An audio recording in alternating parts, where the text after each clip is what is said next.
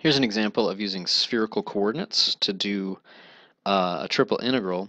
So I've got the upper half of a, um, a ball, and so it's everything above this blue plane through the equator.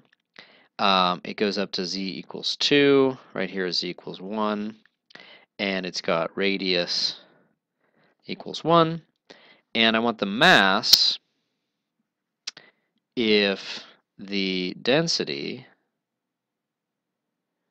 is proportional to 1 over the distance from the origin. So it's inversely proportional to the distance from the origin. Okay, so it's going to be densest here, not so dense here, not so dense here.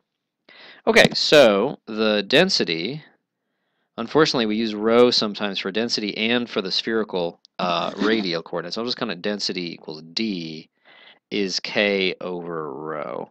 And physicists would use an r here. Lots of people would use an r for the radial coordinate, but we're using rho in accordance with our book. Um, okay, and so we want the integral over this three-dimensional region of density times dv, because that's a little bit of mass, mass times density times volume, um, or in other words, integral k over rho. And we're going to try to use spherical coordinates here. It's going to work out nicely. We've already we got some rotational symmetry about the z-axis, so we should at least use cylindrical or spherical. And cylindrical wouldn't be horrible. We'd get like a z as a function of r. We'd have like some square roots and stuff. So we're going to use the spherical volume element, rho squared sine phi d rho d phi d theta kind of squeezing it in there. Okay.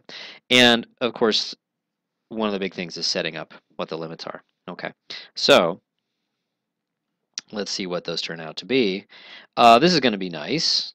So the one reason to do this in spherical, of course, is that this is rho, and so that's going to be expressed nicely. So the integrand is expressed nicely. In any any integral, any definite integral, there's the region, which determines the limits, You'd like to make that simple if possible. There's the integrand.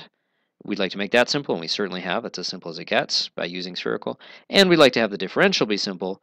And there's a price to be paid by using spherical, but by getting this differential, but it's not usually that much of a price to pay. Okay, but now this, we have to see how nice that is. Well, um, and then, then of course these guys are going to cancel, so it's going to be, the integrand is actually going to be k, oh no, it's going to be k rho. There we go.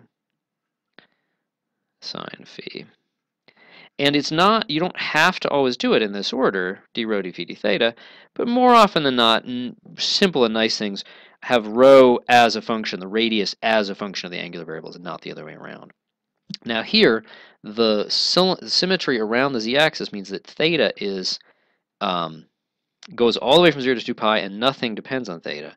So we'll put that in as a 0 to 2 pi there, and that's going to be mean we can just going to in integrate that out right at the start. Okay, oh, and that x is not part of our algebra there. Okay, so what about phi?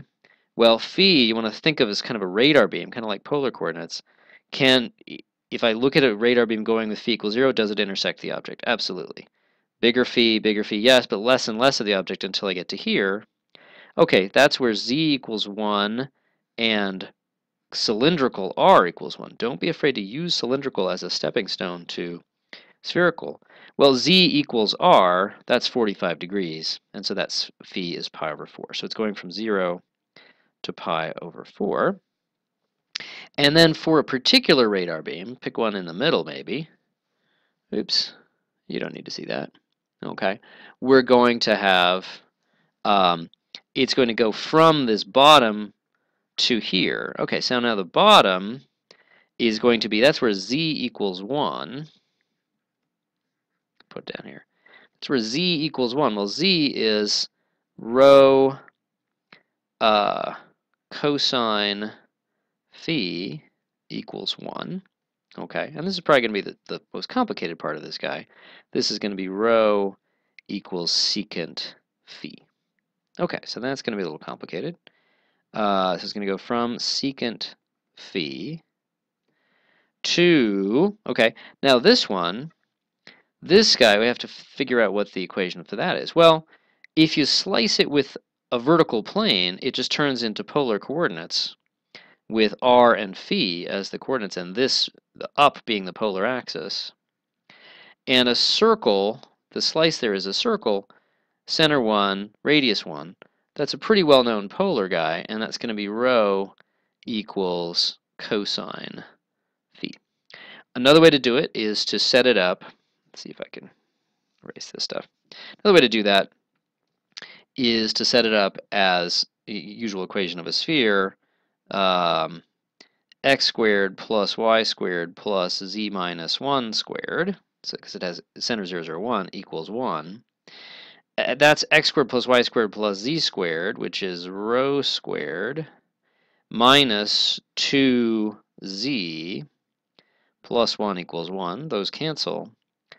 So rho squared equals 2z, which is 2, uh, oh, that's a 2 cosine phi, my bad. Rho squared, I'm glad I redid it. Rho squared equals 2 rho cos phi. Cancel the rhos, which is legal because we're going to get rho equals 0 anyway out of just rho equals um, cos phi and phi is pi over 2, for example. So that's just going to, again, say rho equals 2 cos phi. So there's my outer. Okay, so now let's see what that turns into. We can go up here. Okay, so that goes up here. And so it's going to be 2 pi. That's just integrate out the theta right, right off the bat. Only works if you have no thetas in here, but it does work here. Um, integral 0 to pi over 4. Oh, there's a k that comes out of here.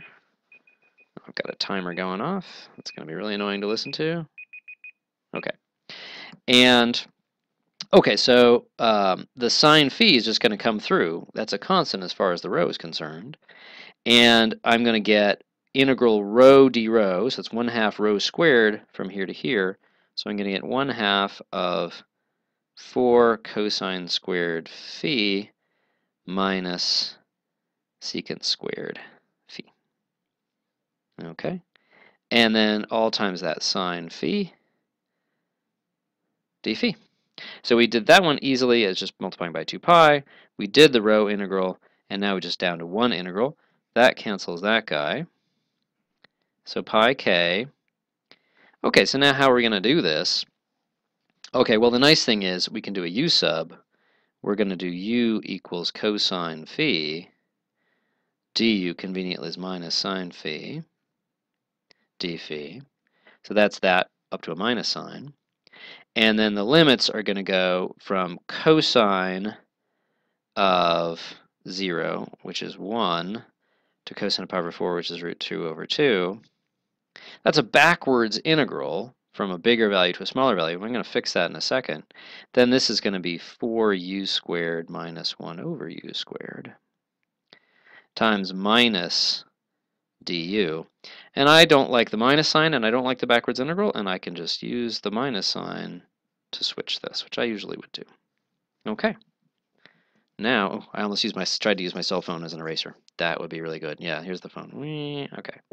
So, now we've got pi k, and now this is pretty easy. This is just going to be uh, 2, no, no, sorry, 4 thirds u cubed plus 1 over u, all from root 2 over 2 to 1. And so it's pi k times uh, 4 thirds plus 1, so 7 thirds minus 4 thirds. Root 2 over 2 cubed is 1 over 2 root 2.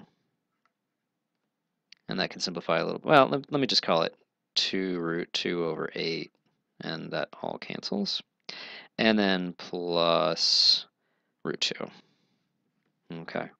So it's pi k times 7 thirds minus root 2 over 3, but then another root 2, so it's really 4 thirds root 2. Okay. We should check that that's actually positive. Okay. Well, 4 root 2 is about uh, 5.6, 5.7. That's less than 7. And so this is actually greater than 0. So it makes sense as a mass. Okay.